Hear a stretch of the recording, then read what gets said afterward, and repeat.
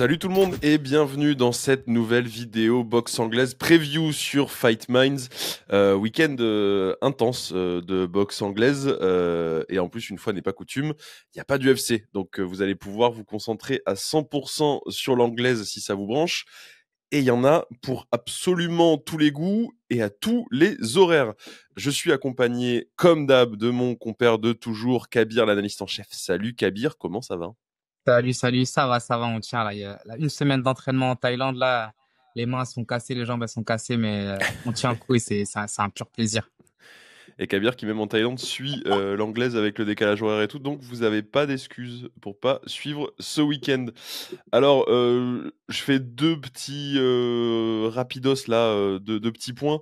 on a donc on a Fischer contre Babiche qui aura lieu, je, si je dis pas de bêtises, ça va être le combat du samedi soir euh, à l'horaire décent, euh, à l'horaire européen, puisque ça se passe au, euh, en Angleterre.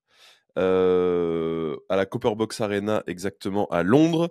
Euh, combat de poids lourd. Alors euh, c'est pas les deux meilleurs poids lourds du game. Fischer c'est un prospect, il a 25 ans. C'est 11-0 dont 10 KO. Babiche c'est 12-1 dont 11 KO. Donc ça va être un combat explosif. C'est sur Dazone. Euh, il y a un lien affilié dans la description, vous commencez à connaître.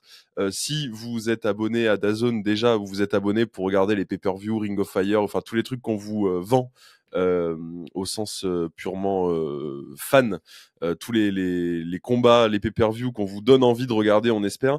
Si du coup vous êtes abonné à Dazon, ben, samedi soir vous avez cette réunion de boxe et il y a donc en main event Fisher Babish, qui a un combat qui va pas être le combat du siècle, mais qui va être un combat particulièrement explosif et un vrai combat de poids lourd qui va se finir par un KO.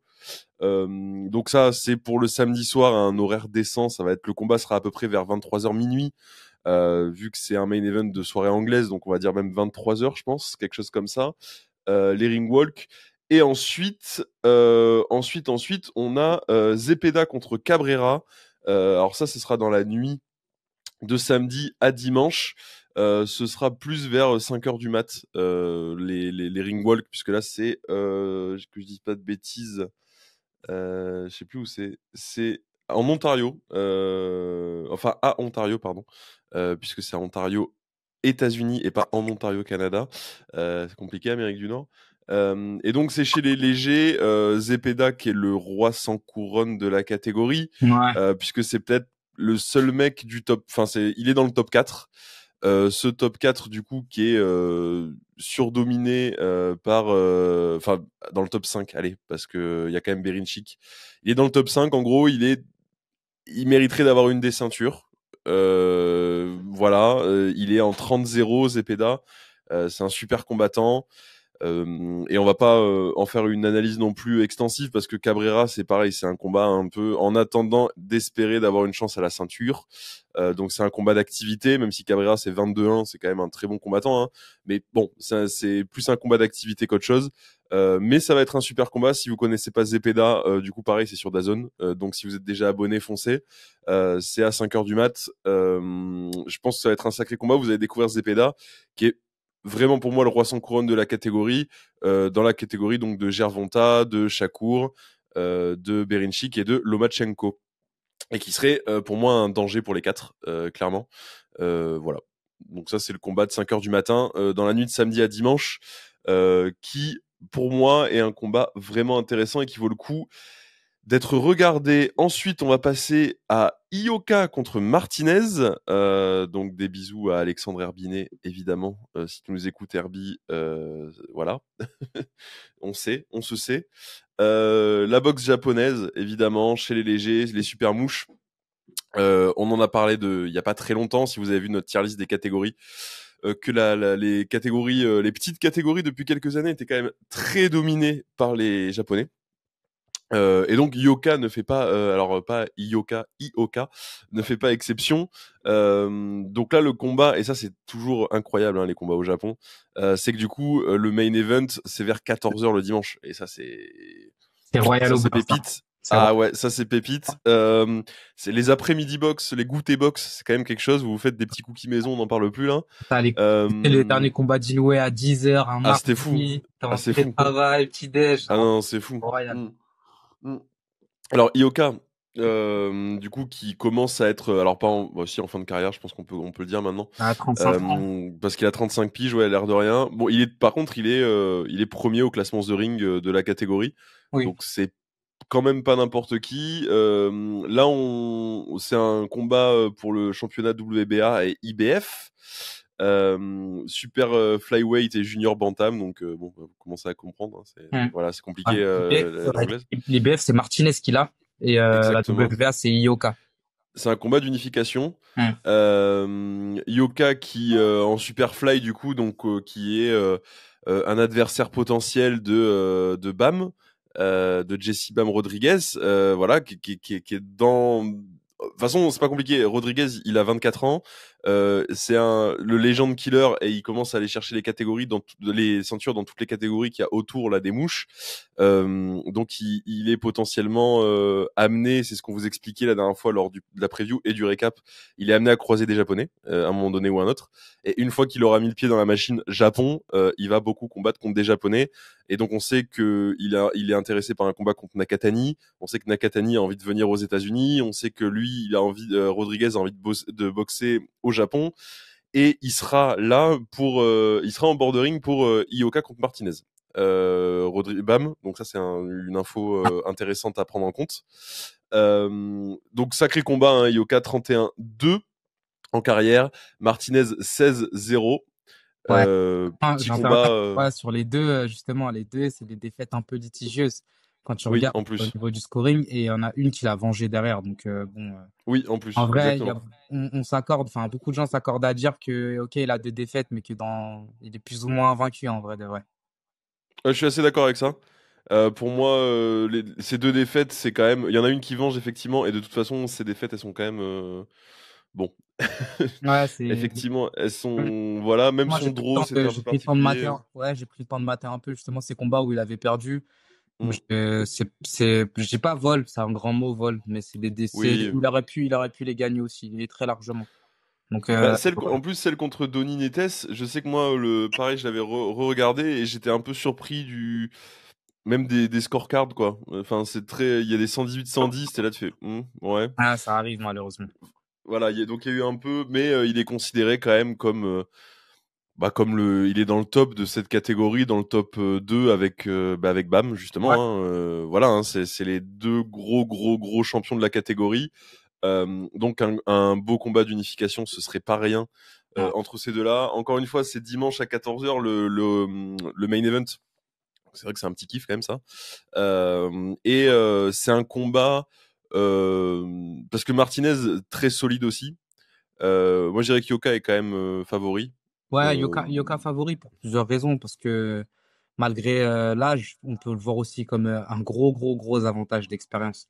C'est que Ouais. Yoka, il a commencé en 2009, la boxe pro. Euh, Martinez, il a commencé en 2017. Donc, ils ont, ils ont un, Ouais. un gros écart de- d'expérience. Euh, Grosse carrière amateur, Martinez évidemment. Ouais, Enfin, Martinez, ouais, il a été médaillé de, médaillé de bronze, là où Yoka n'a jamais été qualifié. Exactement. Il n'a pas passé les qualifs, Yoka, pour, euh, pour les Jeux Olympiques. Et Martinez, euh, effectivement, médaillé de bronze avec un gros, gros palmarès olympique. Ok, il a 32 ans, il n'est pas non plus tout jeune, mais sur le plan athlétique, je trouve qu'il est quand même à. On peut considérer qu'il a lui à son prime. Il n'a pas là, beaucoup de rouille de combat du fait de Non. son peu de combats en professionnel, entendons-nous bien. Donc, euh, il est dur à l'intérieur, il est capable d'imposer un gros rythme. Et tu sais, c'est un peu une opposition de style parce qu'à l'opposé, Yoka, il a lui une bonne euh, boxe en ligne. J'ai regardé ses derniers combats sur lesquels, euh, et notamment ses derniers KO aussi, ses dernières séquences où il a vraiment fait euh, beaucoup de dégâts, c'est sur de la boxe en ligne. Il arrive à sortir, rentrer dans la distance avec beaucoup d'aisance et euh, il arrive à bien contrer. Et donc, je me dis que là, ça va être une opposition entre Mhm. vraiment un combattant qui met beaucoup de volume avec Martinez et un Yoka qui est beaucoup plus contreur, qui va être peut-être plus patient, mais qui est capable aussi de cueillir son adversaire parce que finalement, il a, il a quand même un sacré punch. Donc, euh, Ouais. je vois quand même Yoka par rapport à justement cet avantage d'expérience euh, dominer et certainement gagner le combat, mais sinon euh, Martinez a toutes ses chances, c'est évident. Moi, je le vois, pareil, je vois quand même Yoka gagner le combat, décision unanime. Euh, je vois pas forcément ça aller au chaos parce que je pense que Martinez est quand même très solide. Euh, on sait que les boxeurs sud-américains, on sait à quel point c'est compliqué de les envoyer au tapis. Euh, bon, on a évidemment des, des, des, des contre-exemples, comme toujours. on l'a vu avec, avec Jesse Rodriguez contre, contre Estrada, pas plus tard que le week-end dernier. Euh, mais on sait qu'ils sont durs, euh, les boxeurs sud-américains. On sait effectivement que Martinez. Après, Martinez a jamais affronté un mec de la trempe de Ioka non plus. ça, c'est aussi un autre point sur lequel. Donc on va peut-être avoir euh, des réponses. Ouais, c'est aussi un point sur lequel on peut on peut rebondir. Effectivement, euh, lui, il a pas pris il a pas pris beaucoup de combats avec beaucoup d'adversité. C'est-à-dire que de ce que j'ai noté, Ioka, dès son troisième combat, il est passé à 10 rounds. Son troisième combat pro, pro il est passé à 10 rounds. Et au bout du septième, il a fait presque que des 12 rounds. Ça veut dire mmh. qu'en fait, ça fait, euh, je rappelle, euh, avec un début en 2009, donc ça fait presque 15, ans qu'il a habitué, qu'il se prépare et qu'il fait que des combats euh, en 12 rounds dans lesquels, bah, du coup, il va jusqu'au bout souvent et parfois il va avant le terme. Mais en gros, il a, il a la caisse, il a le bagage et il a affronté des boxeurs. il, a, il a beaucoup plus de rounds dans, dans les pattes que, que Martin. Donc ça Puis peut il combat tous les 6 mois. L'expérience et aussi un des. 15 ans qu'il combat tous les 6 mois, il a quand même une, il a une vraie régularité. Euh, il, il a pas euh, ce qu'on a souvent en boxe, ces espèces de gaps. Euh, dans des carrières, surtout quand on a 35 ans et qu'on a commencé jeune. Et lui, il est très régulier, il combat tous les 6 mois. On sait pas, il faut savoir que c'est le premier combattant Jap, japonais à être champion dans quatre catégories différentes. Donc, c'est, il a quand même commencé bas et il est monté, monté jusqu'à arriver chez les super, super fly. et puis c'est un super combattant. Ouais, c'est un combattant accompli, très complet et ça ah, un, un peu dommage qu'il n'y ait pas assez de lumière sur lui que bah là, on, sait qu'il a, il est au crépuscule de, la, de, de sa carrière, donc c'est un peu, c'est un peu dommage quoi qu'il n'ait pas autant, autant pété par exemple qu'un certain Inoue, mais euh, en tout cas. C'est pour ça qu'on espère qu'il y aura un combat contre Rodriguez aussi, euh, parce que c'est vrai que Bam, c'est en train de devenir une star. Là, il est cinquième au classement pound for pound, d'ailleurs, euh, tout à fait. Bah, moi, je totalement légitime. Ouais, bah, pour moi, le classement pound for pound the ring, là, le top 5 du moins. Euh, après, euh, voilà, mais le top 5 pour moi il est nickel, euh, vraiment. Pour moi il est parfait. Bah, je vois des gens qui gueulent par rapport à Canelo quatrième et tout. Pareil, un peu. Enfin, Canelo là effectivement il fait une fin de carrière particulière, mais un peu de respect quand même sur le nom de Canelo, pitié, sur ce qu'il a accompli dans la boxe, quand même, c'est quand même monstrueux. il a, enfin, surtout en super middle. Enfin, il a été les chercher, chercher les ceintures une par une, que contre des, des champions du monde invaincus. Ah. Vraiment, un, un, peu de respect. donc, c'est pas délirant qu'il soit quatrième non plus. Euh, mais effectivement, Bam arrive cinquième, il commence à, à, se faire un nom aux États-Unis et euh, voilà. Donc c'est vrai que si Yoka peut euh, sécure un combat contre Rodriguez ou ou même pour Nakatani aussi, hein. Nakatani il est plus jeune donc il y a un peu plus de marge de progression marketing on va dire. mais bon, si on peut mettre la lumière sur ce genre de combattant aussi outre-Atlantique, outre-Manche, etc. en ayant des, des, des oppositions de style, ça peut être très très cool. Euh, mais je pense que Yoka euh, Martinez va être un très beau combat. Alors, c'est pas diffusé en France. Euh, voilà, je, je sais je sais pas quoi vous dire. Des fois, on est quand même pas gâté en France sur la boxe. Et ça, typiquement, en fait, en France, maintenant, si Dazo n'a pas les droits, potentiellement RMC peut les avoir sur certains combats, notamment chez les combattants top rank. RMC a les droits. Euh, et après derrière, c'est vrai que Canal s'est un peu retiré du truc. Et à part, euh, bah, à part euh, Tony Yoka et, et compagnie, c'est vrai que Canal c'est devenu un peu triste aussi niveau boxe. Pareil pour Bein, il y a eu un peu, tout le monde s'est un peu détourné de la boxe anglaise, alors que là c'est en train de revenir. Donc il y a vraiment une, je pense une erreur de stratégie aussi, voilà. Parce que Dazone, Dazone en France, ça marche quand même plutôt pas mal justement puisqu'ils se sont mis à fond sur la, la boxe. et c'est triste que ce combat soit pas diffusé. Euh, donc euh, voilà, vous savez ce qu'il vous reste à faire si vous voulez le voir dimanche. Euh, vous, vous connaissez. ensuite, on passe à l'autre gros combat du week-end. Enfin, l'autre gros combat. l'autre gros nom du week-end, déjà. Parce que c'est vrai que bon, le combat, les légers, ça commence un peu. vous avez vu notre tier list de la KT. Hein. Euh, les légers, c'est une catégorie de fous, mais ils s'affrontent pas entre eux. Donc, euh, un peu ça. du coup, c'est pas c'est pas un méga giga S tier quoi, euh, parce que bon, à force que tout le monde s'évite, ça commence à être épuisant, ce qui est pas le cas effectivement chez les mouches, les super mouches et tout. Et d'ailleurs, Herbie nous le rappelait sur Twitter ça, et il a raison. donc, on a le combat entre Shakur Stevenson et Artem Arutunian. alors, on est content de voir Shakur revenir. On est toujours content de voir Shakur boxer. C'est comme Gervonta Davis en fait. C'est comme tous ces gars ou comme Loma ou comme on est toujours content de les voir boxer. Le problème, c'est qu'encore une fois, Bon, Shakur, il boxe. Enfin, c'est aucun manque de respect pour Artem, hein, mais Shakur, il boxe en dessous de son niveau là. Euh, bah et ça commence. Enfin, et après, on nous parle des quatre rois, euh, comme à l'époque des quatre rois dans les années 80, hein, de Léonard, Hagler et tout. Et moi, c'est pour ça que je peux plus entendre cette expression à l'époque des quatre rois, ils s'affrontaient tout le temps entre eux, tout le temps, tout le temps. Il y avait des, il y avait des combats, il y avait des rematchs. Ils se sont tous affrontés entre eux au moins une fois, si ce n'est pas deux, si ce n'est pas trois. Comment on peut comparer l'époque où tous les, les quatre meilleurs du monde, et toutes catégories confondues, hein, les quatre meilleurs pound for pound s'affrontaient entre eux, et là, tout le monde s'évite.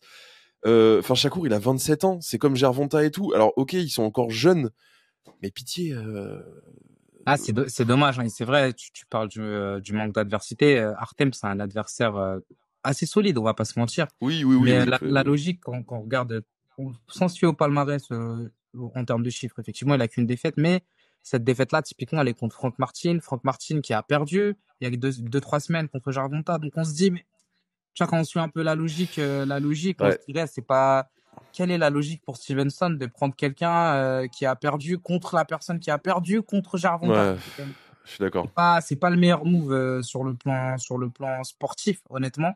Euh, que ce soit un adversaire solide et qu'en plus justement j'ai pris le temps de revoir euh, le combat entre Artem et, et Martin et que il l'a perdu, c'était assez, la défaite est assez claire, mais qu'il y avait quand même des pistes. Il a eu de, de belles fulgurances et je trouve que oui. Artem, il a, enfin, faut pas lui retirer son talent, son niveau et notamment son, son niveau offensif euh, avec son bras arrière en contre, parce que on rappelle que Frank Martin il est gaucher comme Stevenson, et euh, que euh, il a réussi à piquer à plusieurs reprises euh, Martin. Donc je dis Martin et Stevenson ce sont deux combattants différents, mais ça peut être une arme qui pourrait servir à, à Artem contre Stevenson. Mais effectivement, quand on regarde le niveau de Stevenson, c'est un peu un des aliens de, qu'on a actuellement, tu sais, le, le genre de boxeur qu'on voit pas tout le temps, tout simplement. en termes d'intelligence de combat, c'est un peu, c'est un chef d'orchestre en fait. Euh, tu sais, sa baguette, c'est son bras avant, il a son pied aussi qui sert de métronome, et en fait, il gère la distance, il gère le timing. Euh, il arrive toujours à être à la bonne distance pour pas se faire toucher, mais remiser derrière. Il a une super science du contre. Il a énormément de puissance, très précis. Euh, et donc, euh, c'est un combattant très très difficile à déjà toucher et ensuite euh, finalement c'est très compliqué de pouvoir euh, rentrer il arrive jamais en fait les gens n'arrivent il annule la boxe des autres et en fait il fait boxer comme lui il veut euh, il veut les faire boxer c'est-à-dire qu'il il a beaucoup de faux rythmes, il combat beaucoup en faux rythme. C'est pas le, le, boxeur le plus divertissant, on va dire ça comme ça. Je peux comprendre, mais après, moi je trouve que c'est vrai qu'en termes de, c'est pas du non-stop action, mais dans tout le setup, dans les pièges qu'il fait à la fois avec les pieds, vous savez, quand il y a un combattant droitier contre un combattant gaucher, on est dans ce qu'on appelle une open stance. Et donc, euh, la règle commune ou la logique voudrait que si celui qui a le pied avant à l'extérieur, il a un meilleur angle pour envoyer son bras arrière, il a plus de il a moins de chances de se faire toucher par le bras arrière de son adversaire et il peut mieux toucher. Et pareil pour la main. En fait, euh, les deux mains avant se clashent, en tout cas se touchent. Donc celui qui a le contrôle de la main avant, il, en général, il peut aussi contrôler et initier des combinaisons. Alors Stevenson, lui, il va à contre-pied de ses, euh, de ses règles, on va dire de ses règles de la boxe, en parfois se mettant dans des angles ou en laissant euh, sa main dans des positions qui sont a priori défavorables, mais pour derrière remiser, contrer et être ultra rapide, chirurgical sur ses contres. Et ça, c'est vraiment très beau à voir. C'est exceptionnel et c'est c'est pas des combattants qu'on qu'on voit, euh, c'est qu'on voit tous les jours faire des choses comme ça. Et comme tu dis, c'est tellement dommage de pas le voir aussi plus régulièrement et de pas le voir surtout contre le, le très haut du panier parce que Artem c'est quand même le haut du panier, on va pas se mentir. oui, oui, mais bon. Eh, encore une fois, au même moment, il y a quand même Zepeda qui boxe quoi. Et euh, là, ce, soir-là, enfin, quand à chaque cours et Zepeda qui boxe en même temps, puisque ce sera à peu près 5 heures du matin aussi dans la nuit de samedi à dimanche, euh, le combat de Chakour, c'est diffusé sur RMC. Mmh. Euh, voilà. Euh, c'est quand même, enfin merde quoi. Enfin, t'as deux, deux, t'as deux dégâts du top 5 euh, qui boxent euh, en même temps. Euh, ils doivent se croiser en fait, Chakour et Zepeda. Enfin, ils sont à un moment de leur carrière. Chakour, c'est bon, il est en 21-0. Euh, on arrête là de gonfler son, son résumé, enfin ce que fait, euh, ce qu'ils sont en train de faire à Top Rank là. Mm. Euh, on arrête, ça sert à rien de, de gonfler son, son résumé, pardon, son CV, enfin son palmarès. Ouais. Il est en 21-0, c'est bon. Maintenant, on peut commencer à passer aux choses sérieuses. Pareil pour Zepeda qui est en 30-0, pareil pour Gervonta qui est en 30-0, euh, pareil pour. Le... En fait, le seul de la KT là maintenant tout de suite qui a vraiment affronté de la diversité et de la grosse diversité, en fait, c'est Loma. Et c'est Exactement. pour ça, les gens peuvent être contre ou pour ou Loma et dire ah oui mais Gervonta c'est le numéro un de la KT, tout ce que vous voulez. En attendant aujourd'hui le seul qui a vraiment euh, en aussi peu de Mm. combats en plus, qui a une carrière de fou furieux en professionnel. Enfin Loma euh, à son deuxième combat professionnel, il combattait déjà pour un titre. Donc le- Loma c'est le seul de la KT qui a un- qui, qui a affronté que de l'adversité en fait. Euh, et on a aussi euh, bah, Berinchik, l'air de rien, qui a pris la ceinture euh, contre Navarrete, qui, est- qui était juste un truc énorme. Donc c'est pour ça qu'il y a quand même un peu. Enfin moi, la, la catégorie des légers, t'as vraiment peut-être le meilleur roster techniquement, c'est-à-dire euh, les 4-5, le top 4-5, t'as peut-être le meilleur roster de toutes les KT confondues. D'accord. Sauf Mais que ils s'affrontent pas est- entre eux. Ouais, le coup, matchmaking, euh, il est, fa- il est fa- il est pas ouf, quoi. Il est pas ouf. Et, Bah non, bah du coup on s'en fout. Du enfin, je suis désolé, mais moi la catégorie des légers elle commence un peu à me gonfler parce que, je, en fait, je, je- enfin, je- c'est pas, euh, moi, je vais le regarder le combat. Évidemment, il y a Shakur qui combat, donc évidemment que je vais regarder. Euh, je vais avoir un setup double écran puisque en même temps il y a Zepeda qui combat, donc je vais regarder les deux en même temps, évidemment.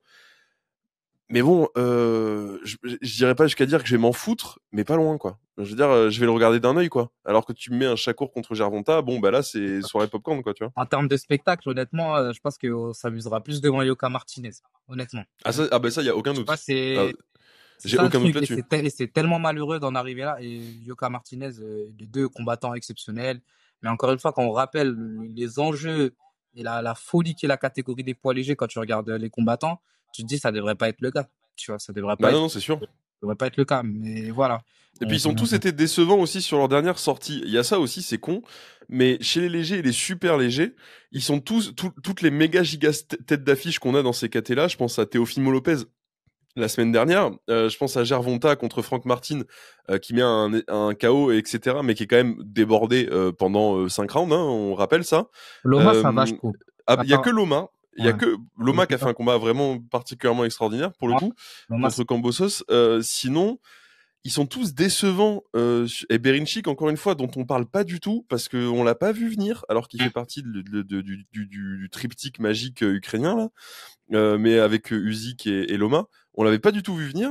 Et encore une fois, Iban Navarrete, qui était euh, vu comme le, le prochain champion WBO de la catégorie euh, sans souci, tu vois. Mm. Et en fait, euh, Berinchik qui prend la ceinture le même soir en plus que Usyk prend la ceinture. Enfin, ça aussi c'est beau. Enfin, prend euh, les- la ceinture indisputed. Euh, Il y, y a quand même, euh, enfin, c'est quand même décevant dernièrement les gros noms des légers euh, ou des super légers. Je pense à Devin Haney. Euh, bon, évidemment, il y a toute l'affaire euh, Garcia avec la drogue et tout. Ouais, bon, Euh, mais. Haney fait quand même un combat décevant malgré tout, qu'on le veuille ou non. Donc c'est vrai qu'ils ont été plutôt décevants toutes les superstars légers, super légers. Dernièrement, c'est quand même. Tu, Après, je trouve- tu te demandes si ça n'a pas été monté pour certains un peu marketing, tu vois. Non, t'as été un peu dur. Ils ont quand même, enfin, il y en a qui ont fait des beaux combats sur, là, je, ouais, Devin Haney, je trouve qu'il a quand même fait un, ouais, c'est, c'est, je suis d'accord avec toi. En fait, on s'attend, on s'attend à mieux. Surtout quand on veut nous vendre ça comme une nouvelle époque des quatre rois, c'est, c'est, c'est, ça n'a, Ouais, bon, ça, ça, ça, ça en devient même ridicule de faire cette comparaison-là. C'est agaçant, Ouais. limite. Donc, euh, je comprends. Mais, euh, ouais, c'est Ça, vrai il n'y a pas beaucoup de marketing derrière la catégorie des légers aussi, Ouais, tu vois. De, de... Alors qu'en fait, Parce elle qu'il n'y en a- a pas un seul pour devrait- temps qui est dans le top pound for pound pour l'instant. Je suis d'accord avec toi. Alors que normalement, cette catégorie, elle devrait se marketer, ne serait-ce que par les enjeux sportifs. Il devrait pas y avoir des, euh, des freak fights ou des trucs, euh, des, des bifs ou des rivalités à créer bêtement. En fait, c'est juste sportivement, ils doivent s'affronter, ils vont s'affronter. Donc, c'est pour ça que les rivalités, elles se créent, c'est pour ça que les billets se vendent, en fait. Un peu comme on Ouais, voit chez les poids lourds. Tu sais, euh, là, j'ai l'impression que chez les poids légers, on essaye un peu de, de stimuler ou c'est un peu, c'est un peu, c'est un peu fake, quoi. Et pour, histoire de vendre des, des, des limites, alors qu'en fait, euh, sportivement, on a juste à expliquer et à montrer qu'il y a deux monstres sacrés dans une catégorie qui arrachent tout sur leur passage et qui doivent forcément s'affronter parce qu'on doit déterminer qui est le meilleur dans cette division. Sauf que c'est pas le cas et que là, on est en train de traîner, que en traînant, le temps il passe, les combattants ils prennent de l'âge, ils- enfin ils prennent de la rouille. Et euh, bon, Ouais. on est on est optimiste. hein. On, on rappelle aussi que bah, l'Arabie Saoudite a, elle a quand même pas mal redistribué les cartes. On sait pas, on sait pas trop si elle va peut-être justement permettre à, cette catégorie-là de se revivifier. Elle va émuler la catégorie en proposant des, des matchmaking, justement, en donnant des arrangements financiers aux combattants pour leur permettre de faire les combats qu'ils veulent. Mais euh, ouais, non, c'est vrai que c'est un, peu dommage. Et c'est ce week-end, même si les combats, on vous recommande bien sûr, c'est pour ça qu'on fait cette vidéo, de les regarder. Ah oui, non, mais évidemment, euh, évidemment ça, reste assez révélateur de, de l'état de la KT et du, manque d'enjeux sportifs. Et je te rejoins entièrement là-dessus. Et c'est pour ça que je dis, je sais pas s'il y a des combattants qui sont pas très marketing. Alors, euh, encore une fois, euh, Shakur, euh, Gervonta, Loma, etc., c'est des méga, enfin, c'est des super boxeurs. C'est le, c'est l'élite de l'élite de l'élite. Je suis pas en train de dire que c'est mauvais boxeurs, attention, mais je sais pas s'il y a pas beaucoup vu les dernières prestations chez les légers, vu qu'ils s'évitent tous et tout on sait qu'il y a beaucoup de marketing derrière tout ça et que ça des promoteurs, enfin qu'il y a beaucoup d'enjeux financiers et que ça pourrait être juste, comme tu dis, euh, une histoire de rivalité sportive. Enfin demain tu fais Chakour euh, contre Loma, il n'y a pas besoin de créer des trucs pas possibles, de dire oui mais c'est vrai que regardez parce que là euh, ils vont nous dire que Artem, oui mais Artem, vous savez, faut faire attention, machin et tout. Oui, il faut faire attention, mais on sait que Chakour est ultra favori et que c'est un combat d'activité. En espérant, en, enfin je, je, pense que tout le monde espère.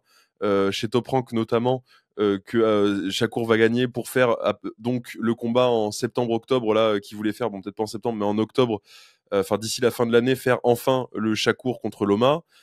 pour faire un combat d'unification WBC IBF et après faire le combat d'unification WBA WBC IBF le vainqueur contre Gervonta ça, ça c'est un truc qui tu vois qui tourne dans la tête des, des, promoteurs et dans la tête des gens parce que nous on commence à en avoir marre enfin nous les amateurs de boxe, ça fait et alors les gens qui sont pas qui suivent la boxe de loin, ils doivent plus rien y comprendre, mais ça fait quand même 4 5 ans qu'on nous vend Chakour comme le futur de la catégorie, euh, Gervonta comme le futur de la catégorie. Euh, oui, d'accord, tout ça c'est bien. Ils, sont champions du monde. oui, voilà, mais c'est ça. Ils, ils ont 30 piges et ils se ils se croisent pas. Donc Encore ouais, c'est bien. Euh, Rodriguez 24 ans, OK, mais là euh, Ouais, voilà, mais tu vois, Bam, par exemple, il affronte tout le monde, et effectivement, et Herbie en parlait de ça, et moi je suis entièrement d'accord avec lui. Aujourd'hui, la meilleure KT, euh, encore une fois, les poids lourds, c'est un tiers à part, donc c'est pas meilleur ou moins bien, c'est juste que c'est un tiers à part. Mais la meilleure, les meilleures KT, c'est les super mouches et compagnie où en fait, ils s'affrontent tous. Et c'est une guerre nucléaire à chaque fois. Et ben ouais, et en plus, c'est quoi de fou. Effectivement, c'est dingue. Il y a de l'activité, il y a de la régularité. Et euh, surtout que c'est pas des combats où on est sûr à 80-90% parce qu'on n'est jamais sûr à 100% de l'issue. C'est-à-dire qu'on peut avoir des belles surprises. Ben, hum, tu vois dans les combats, dans les catégories récentes, euh, ben justement Estrada il arrive à coucher quand même Rodriguez euh, tu dis ah, on aurait pu avoir un petit euh, un bel upset. On aurait pu avoir une petite surprise ouais. donc voilà quoi. Dans ces petites catégories là c'est c'est aussi ça le qui est qui est assez cool. C'est qu'il y a quand même de l'enjeu que ça que ça part à la guerre et que on a moins ces on a moins ces tendances là dans la catégorie des poids légers où justement ils veulent absolument préserver leur zéro et donc euh, ouais ouais c'est un peu chiant. j'avoue que les légers moi je, je, je suis content je suis content de voir ces gars là combattre parce qu'effectivement encore une fois c'est des super boxeurs et on a quand même voilà. Mais mais je commence à en avoir un peu euh, un peu ras le fion de, de des légers je vais pas vous mentir parce que vraiment c'est une catégorie qui est c'est une très belle catégorie mais il y a vraiment un côté Enfin, la catégorie, on, en parle souvent avec Kabir de certaines catégories où il y a de la place, où il n'y a pas grand monde, il n'y a pas beaucoup d'adversité, où il n'y a pas des gros noms, où il n'y a pas un niveau. Euh, voilà. Et là, il y a ce qu'il faut et c'est pas fait. Et du coup, c'est encore plus frustrant parce qu'à la limite, une caté où t'as pas vraiment d'adversité, bon bah c'est comme ça. Il y a pas d'adversité, il y a pas d'adversité. Là, il y a vraiment, vraiment pas de place. Il y a énormément d'adversité, mais encore une fois, ils se croisent pas. Et on et d'ailleurs aujourd'hui dans les légers, ça fait partie de ces catégories où on a quatre champions du monde distincts. Voilà. Ça fait partie et, de ces. Et ça fait l'unification, elle est galère à faire parce que tu dois les prendre ceinture par ceinture. Comme voilà, l'unification est, est, impossible à faire. Et, je, et si je dis pas de bêtises, je sais même pas si on a un champion ring chez les légers. Donc, euh, enfin, c'est une catégorie qui est, qui est orpheline d'un vrai champion du monde. Et c'est d'une tristesse sans nom. Euh, enfin, là, la mode en ce moment est quand même à l'unification des ceintures. C'est quand même la tendance qu'on voit ces derniers, ces derniers mois slash années. On voit vraiment euh, cette tendance-là. Et ben, euh, chez les légers, on l'a pas, on l'a plus depuis que depuis la, on vous le raconte à chaque fois, mais depuis euh, Lomachenko qui va chercher les ceintures une par une, qui perd contre mmh. Teofimo, qui unifie, euh, Eini et compagnie. Enfin, on vous l'a raconté, euh, Cambosos, Eini, on vous l'a raconté les ceintures qui ont explosé sont encore les ceintures de Lomachenko aujourd'hui, quoi. Et, et c'est triste parce qu'on a plus, enfin, il y a plus cette notion d'unification. Donc voilà, on espère. Lomachenko qui est le seul apparemment qui a envie d'unifier les ceintures, j'ai l'impression. Donc c'est pour ça que moi aussi je suis très pro Lomachenko dans cette catégorie-là. J'ai l'impression que c'est le seul qui a envie de faire ce qu'il faut, quoi. Ouais, bien donc, sûr. Euh, donc voilà. Euh, je pense qu'on a fait le tour du week-end. Euh... Vous aviez un commentaire sur à la fois les, bah, vos pronos aussi, vos, vos, vos, prédictions sur les combats, mais aussi votre avis par rapport à justement l'état de la catégorie des poids légers, surtout parce que je pense que les Superfly, euh, qu'on soit amateur ou pas de boxe, c'est vraiment du, beau spectacle, de la belle boxe. Mais les légers, euh, en fait, comme tu l'as, tu l'as bien dit, c'est des noms qu'on entend depuis des années et finalement, mm. euh, on les voit jamais s'affronter. C'est très, très, très frustrant en tant que fan Pour l'instant, pétard mouillé un peu les légers depuis, depuis 3, 4, 5 ans. On est un peu dans bah. une caté euh, pétard mouillé. Enfin, en fait, depuis, encore une fois, depuis Lomachenko, ouais. voilà, on c'est dommage. Mais ouais, euh, suis curieux d'avoir vos avis en commentaire. En tout cas, moi, je suis en, je suis en phase avec toi, Gérard, sur ça. Et je me dis que, bon, c'est des combats qu'on va regarder, qu'on vous incite et qu'on vous invite, bien sûr, à regarder, parce que c'est exceptionnel. Mais, euh, qui nous laisse un peu sur notre faim, hein, parce que nous, on est des, on est des amoureux de la boxe et on, on espère voir quand même euh, des oppositions, euh, des, bah, aussi belle qu'on qu'elle mérite de l'être. Parce qu'on a on a les combattants en fait. C'est ça qui est dommage. C'est qu'on a c'est même pas comme si on ouais c'est ça c'est frustrant c'est trop on a les combattants. Je, suis sûr que l'argent peut être mis sur la table que sportif c'est c'est l'aspect sportif en fait qui sportivement il y a plus d'enjeux. Ouais, c'est trop c'est trop frustrant. Très très frustrant ouais. mais mais on va quand même regarder. encore une fois, bah, faites-vous votre propre avis. Si vous vous mettez, enfin, si vous avez l'occasion de vous mettre deux écrans, hein, ou même regarder le replay après, faites-vous votre avis, puisqu'il y a Shakur et Zepeda, encore une fois, qui sont tous les deux dans le top 5, qui combattent le même soir. Faites-vous votre avis si vous auriez pas préféré voir Shakur contre Zepeda, quand même. Euh, en regardant les deux combats, si vous connaissez pas Zepeda ou, ou Shakur, euh, vous allez vite voir que c'est un combat que vous auriez vraiment aimé voir ce soir-là, quand même. Ouais. Enfin bon. Euh, bah écoutez, euh, merci à tous d'avoir suivi la vidéo comme d'hab. Euh, on se retrouve dimanche après-midi euh, pour le récap. lundi au plus tard, enfin vous connaissez, des fois on essaye de, de, de s'arranger, mais on se retrouve évidemment. passer un bon week-end, kiffer ce week-end de boxe, et puis bisous tout le monde, ciao, bye bye. Ciao.